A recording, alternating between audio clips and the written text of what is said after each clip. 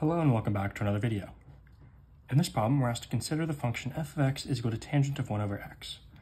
We're asked to show that f of x is equal to 0 for x is equal to 1 over pi, 1 over 2 pi, 1 over 3 pi, and so on, and f of x is equal to 1 for x is equal to 4 over pi, 4 over 5 pi, 4 over 9 pi, and so on. And so if we look at this, right, f of 1 over, and then we say n pi, right, where n is just some number attached to the pi. This is equal to tangent of 1 over 1 over n pi, which is itself n pi, right? 1 over a fraction is equal to the fraction flipped. So this is just tangent of n pi, which we know is equal to 0 for all values of pi.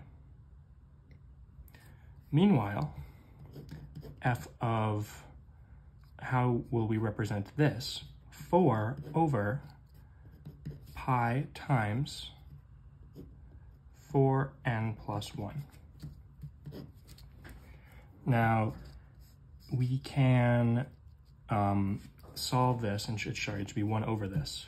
We can solve for this, but I think it's easier to just plug this into a calculator, and you'll get your values um, by plugging in 4 over pi, 4 over 5 pi, 4 over 9 pi.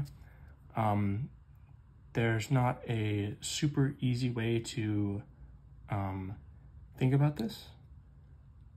Um, at least um, outside of the level of calculating this uh, one at a time. So for example, tangent of 1 over 4 over pi, right?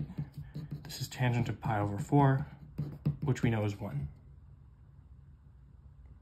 And if you know about the oscillations, the repetition of the tangent function, that you can say that every time we add pi, we'll get another one, because then it's tangent of 5 pi over 4, 9 pi over 4, and so on.